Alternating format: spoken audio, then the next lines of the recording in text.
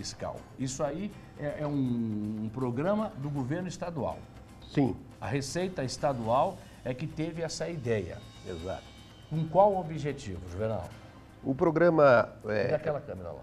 o programa Nota Paraná é um programa de cidadania fiscal.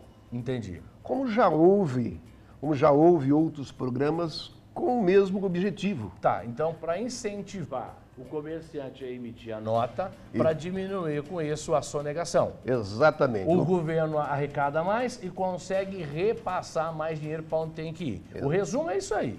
Exato, é? exato. O objetivo é que o cidadão passe a exigir a sua nota fiscal.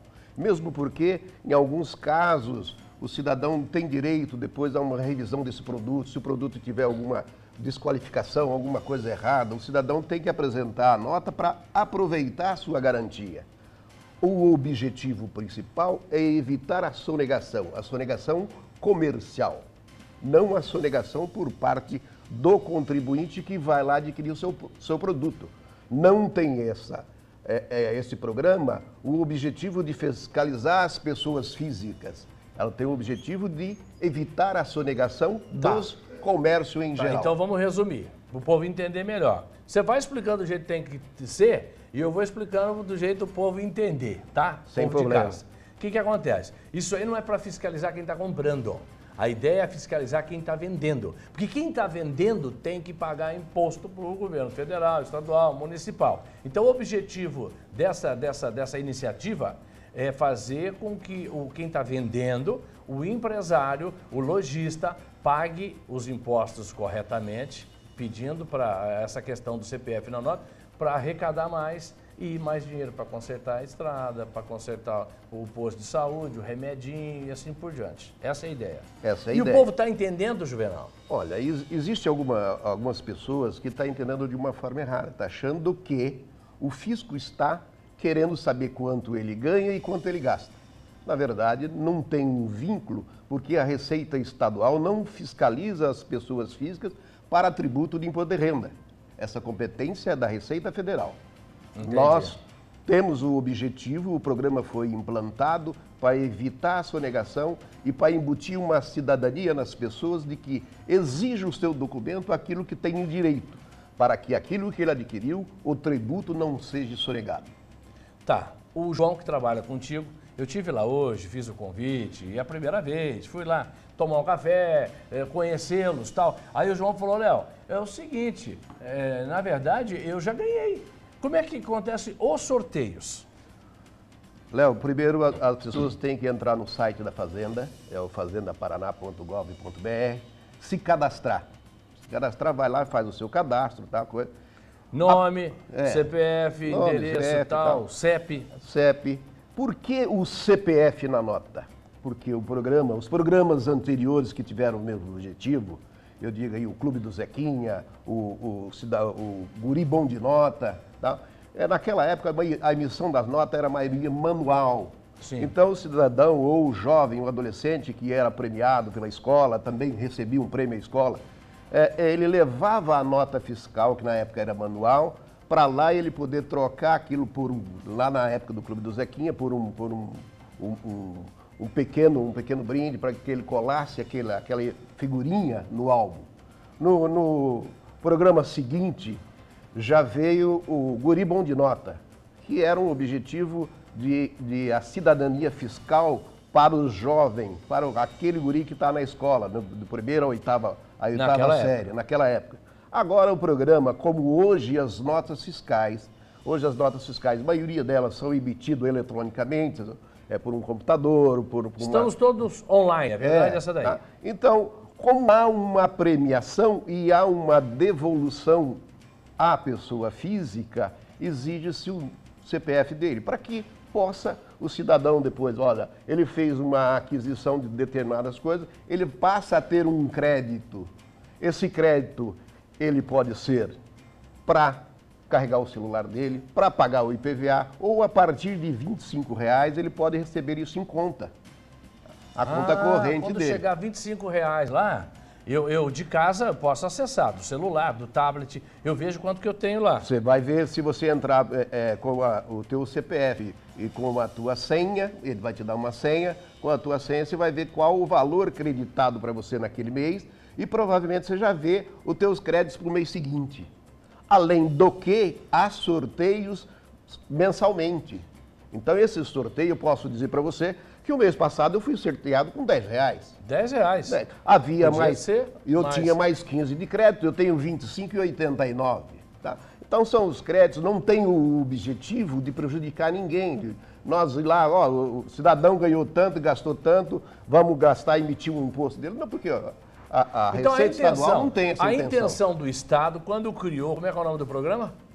É, Nota Paraná. Nota Paraná foi fazer com que quem está vendendo, o empresário, o comerciante, pague corretamente para arrecadar mais.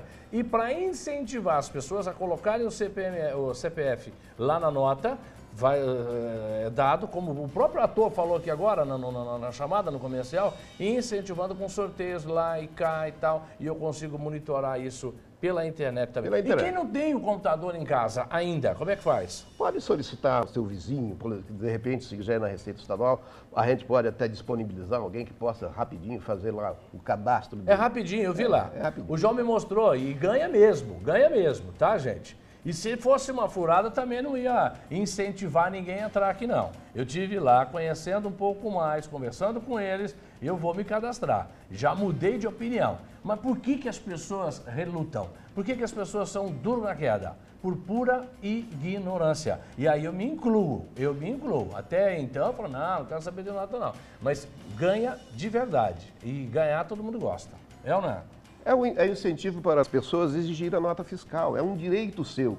Você adquiriu um produto, embutido naquele produto está o imposto.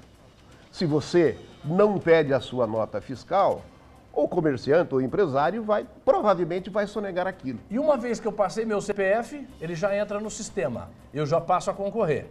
Passa, passa com, online. É, é, a partir de que você tem a nota, pediu nota fiscal com o CPF na nota, você passa a ter, a ter cupons a partir de determinados valores. Então você passa a concorrer todo mês e tem o crédito pelo aquilo que. Aquilo que a empresa que você adquiriu, 30% do valor efetivamente pago, vai ser retornado não a você, mas aquele, aquela gama de pessoas que adquiriram naquele determinado comércio.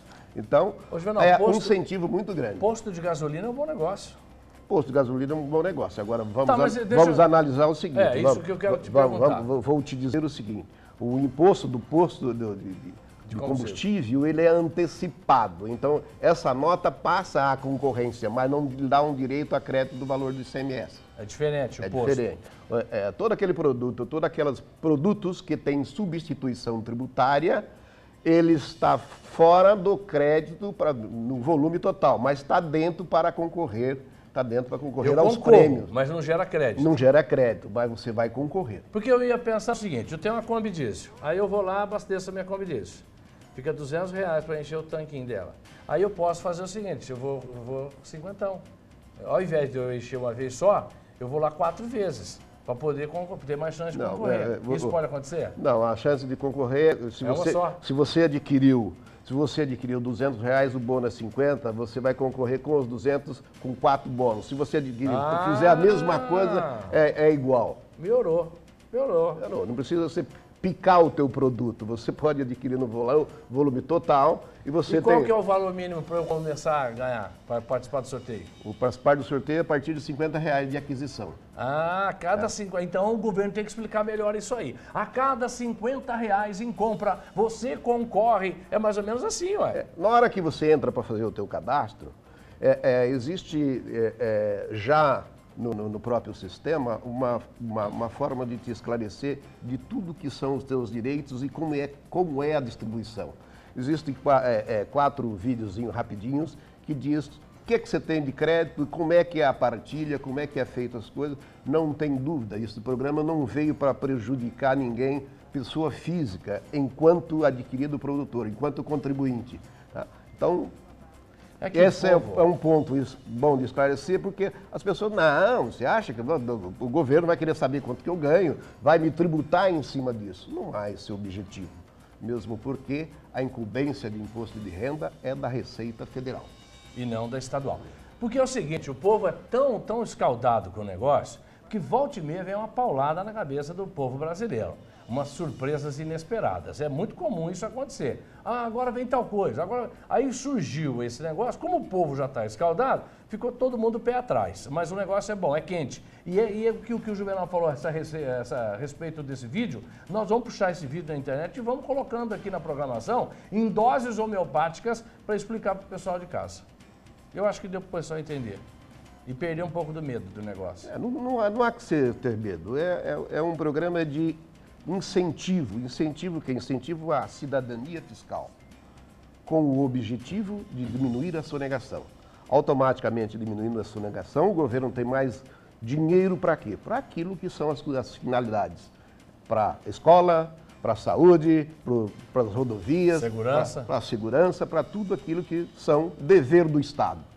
Então, entendi, é, entendi. O cidadão costuma reclamar, a nossa rua está ruim, o asfalto está ruim, o posto de saúde não tem médico, coisa, mas ele cumpriu a sua finalidade, ele adquiriu o produto, adquiriu com nota. Então isso é um objetivo tá principal, tá conscientizar as pessoas. Tá certo, entendi perfeitamente e vou passar a fazer parte do programa, pode ter certeza. Juvenal, obrigado pela sua presença. Eu que agradeço aqui, você nos ter tá? dado esta oportunidade para esclarecer essas, esses que pontos que é negros que havia aí. Nós viemos aqui para Campo Mourão para somar, entendeu? E, e, o que, que é assunto pertinente, o que, que deixa a pessoa na dúvida. Uh, nós estamos aqui para esclarecer, nos seus mínimos detalhes. Mais uma vez, obrigado. Obrigado, tá? Eu que agradeço. Um abraço.